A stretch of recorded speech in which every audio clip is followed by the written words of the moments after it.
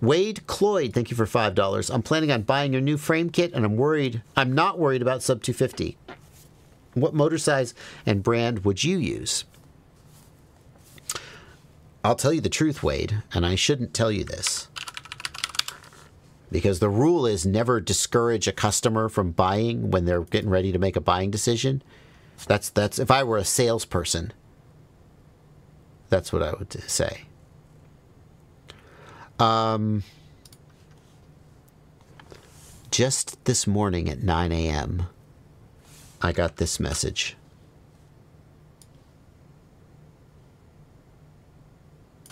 I'm going to screenshot it so I don't accidentally share any more of the conversation than I mean to.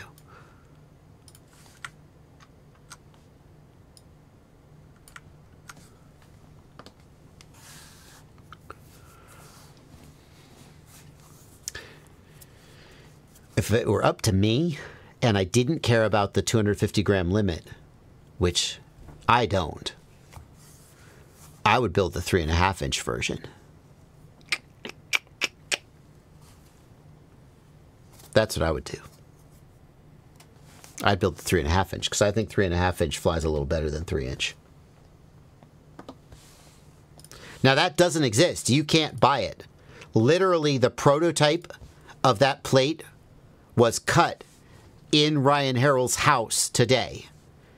So we're at least like a month out, maybe maybe more. I don't know. From actually having a product you can buy, but that's what I would do. Um, as far as motors go, I don't know. I always struggle with three and a half inch motors. Um, I think like 16 millimeter. Uh, let's see what the Baby Hawk 2. What motors does it have? Three and a half inch. This, I wish Ciati was here. I think he recommends like a 16.0 and a KV. Let's look at what they've got. 1404. Shut up. No, that's for that's for that's for babies. That's for babies. All motors. Can I get motors by size? Oh, shut up. Stator size. Let's see what we got for a 16 millimeter motor. 1604, 5, 8. Oh, I can't select multiples. 1605 is the Oh My God Aerolite. 1608. No, no, no, no, no, no, no, no. 1604? That feels right. That's in the ballpark. 1404 is okay for three and a half, but you get a lot better performance out of a little bit bigger motor. T motor 1604, 2850 kV. That's, yeah. So that's the one I'm shooting for, but you may not be able to buy it now that T motor, now that vendors seem to be paying attention to T motor's sanctions. T motor has been on the sanctioned list for a while, but nobody seemed to care. And lately, one vendor was like, we're not going to carry them anymore. 2005s? Yeah, I think that's the next place I would go.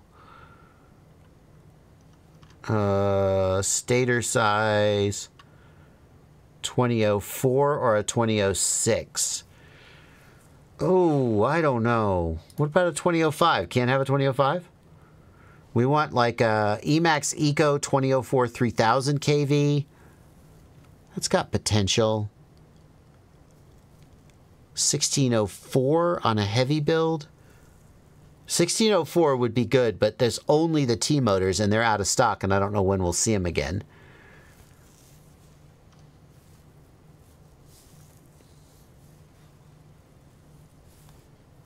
Yeah.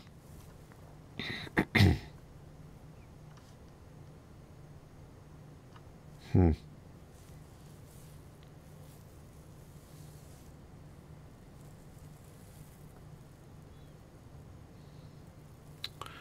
Michael Luna has a good comment on a three and a half inch.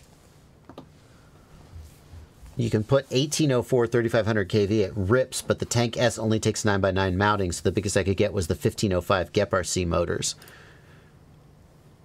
Valid, 1505. So you're looking for something around 3500 kV for 3.5 inch props.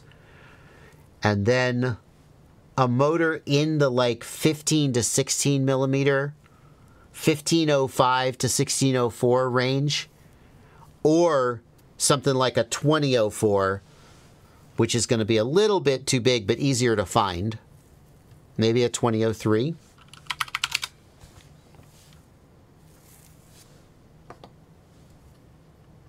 I don't know if there's very many 2003 motors. I know there's a few. Uh, not none, none here.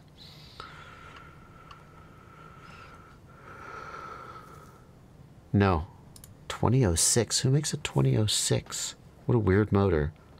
No, don't buy that. Um, all right.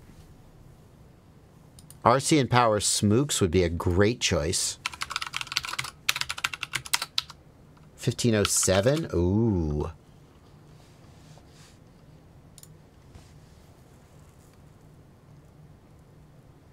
Fifteen oh seven. That, yeah. They're selling it as a Cinewhoop motor. But SmooX plus no, 28, uh, 2080 kV is too low kV. 2680, come on. 38, oh, here you go. The SmooX 1507, 3800 kV. Does that have 9x9 mounting though?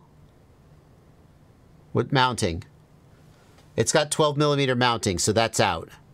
A 3.5 inch frame isn't going to have 12 millimeter mounting. Is it? A 9 millimeter mounting. Yeah, that's tempting. That would be that would be very tempting.